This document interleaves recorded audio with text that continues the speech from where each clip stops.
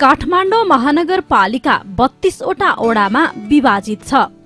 महानगरका यी प्रत्येक ओडाले आफ्नो छुट्टै विशेषता बोकेका छन्।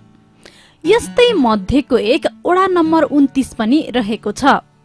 देशको प्रमुख प्रशासनिक केन्द्र सिंहदरबार समाहित यो ओडा एक दशमलव तीन शून्य वर्ग किलोमिटर क्षेत्रफलमा फैलिएको छ। विक्रम सम्मत दुई हजार अडसठीको जनगणना अनुसार ओडाको जनसङ्ख्या तेत्तिस हजार तिन सय सोह्र रहेको छ। लामो समय जनप्रतिनिधिविहीन अवस्थामा ओडाको विकास सुस्त रहेको भए पनि स्थानीय तहको निर्वाचन पश्चात जनप्रतिनिधिको आगमनसँगै ओडामा विकासले गति पाएको छ।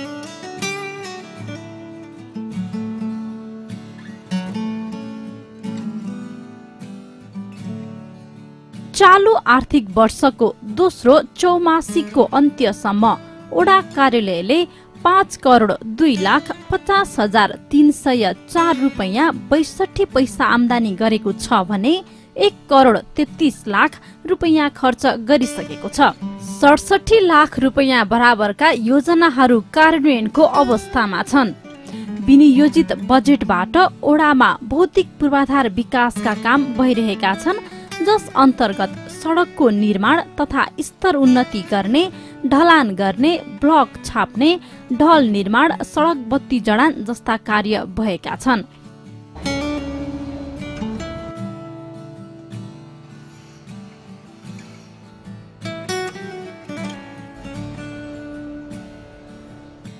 ओडामा भएका विकास कार्यका सम्बन्धमा भने त्यति सन्तुष्ट हुनुहुन्न ओडा अध्यक्ष कुच ढकाल।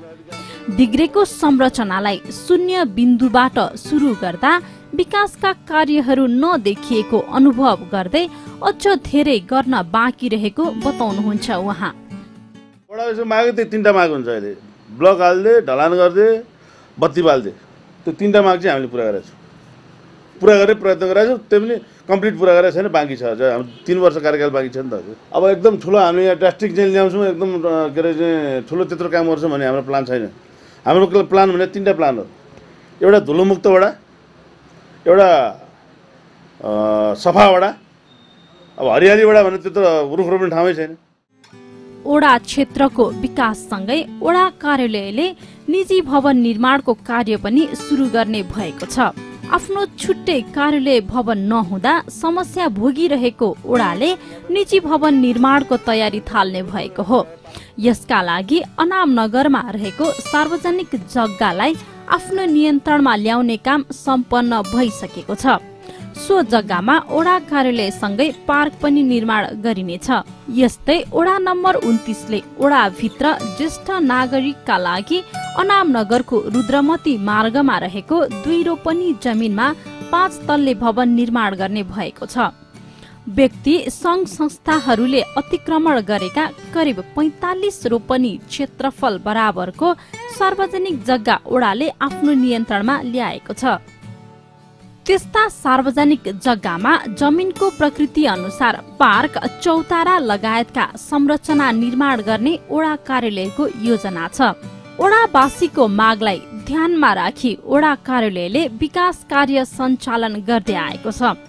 भौतिक सुधारसँगै आफ्नो कार्यकालमा ओडावासीसँग गरिएका सम्पूर्ण प्रतिबद्धता पुरा गर्न सक्षम रहने ओडा सदस्य अर्जुन बहादुर श्रेष्ठको विश्वास छ। भने जस्तो अब गर्न सकेका छैनौँ हामीले धेरै कुराहरू चाहिँ अब अव्यवस्थित छ मान्छेहरूको बस्ती एकदमै बसोबास एकदम अव्यवस्थित भएको भएर बाटोघाटोदेखि लिएर खानेपानी अब सबै कुरा चाहिँ अब हाम्रो महानगरपालिका कन्ट्रोलमा पनि छैन कति कुराहरू होइन? कारणले अब समस्या चाहिँ एकतिर छ अब गर्नुपर्ने कुराहरू एकतिर छ। गर्न सक्ने कुरा चाहिँ फरक छ क्या ओडाले भौतिक पूर्वाधारतर्फ मात्र होइन सामाजिक विकासतर्फ पनि काम गरिरहेको छ। ओडावासी महिलाको आर्थिक स्तर सुधारका लागि महिला लक्षित स्वरोजगार सम्बन्धी कार्यक्रम सञ्चालन गरिएका छन्।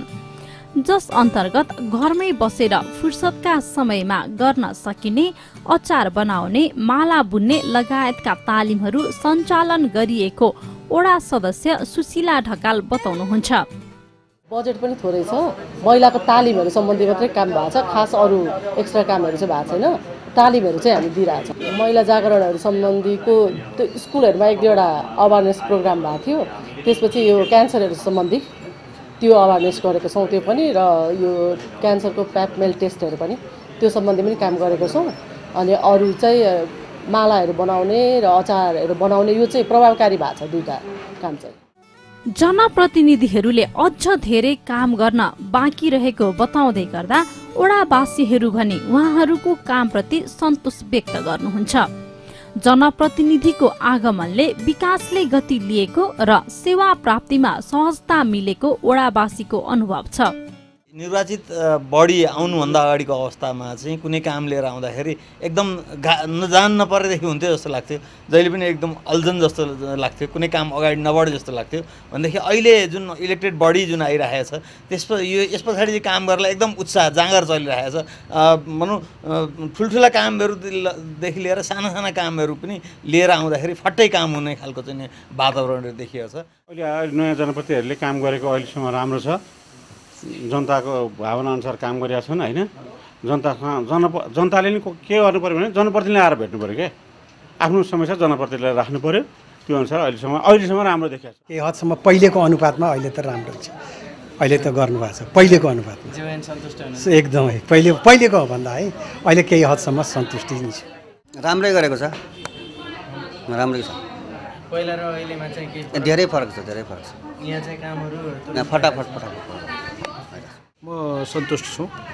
किन भन्दाखेरि सबै कामहरू असल प्रकारले भइरहेको छ। मेरो काम चाहिँ नि मेरो काम चाहिँ असल प्रकारले भइरहेको छ। सबै कुरा म आफूमा ज्यादै प्रभावित छु कि अफिस यो वडा कार्यालयबाट अन्तर्गत हुने सबै कामहरू। विकास निर्माणका कामहरू पनि अब मैले मेरो आफ्नो पोइन्ट अफ भ्यूले हेर्दाखेरि यो कामहरू पनि यो वडा अन्तर्गत चाहिँ तदारका साथ गइरहेको छ। अहिलेसम्म त राम्रै छ। जनप्रतिनिधिहरू आइसकेपछि चाहिँ धेरै नै राम्रो छ। सन्तोषजनक छ निर्माणहरू धेरै भइरहेछ अहिले विकास निर्माणहरू। त्यसमा चाहिँ एकदम राम्रो छ।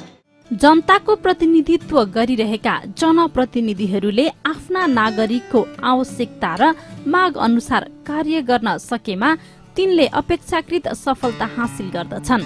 यसरी नै सन्तुलित विकासका लागि नागरिकले पनि आफ्ना कर्तव्यहरू वहन गर्दै जनप्रतिनिधिलाई सकारात्मक सहयोग गर्न जरुरी छ।